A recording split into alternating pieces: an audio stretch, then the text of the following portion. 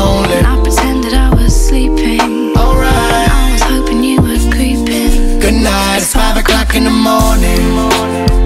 Conversation got boring.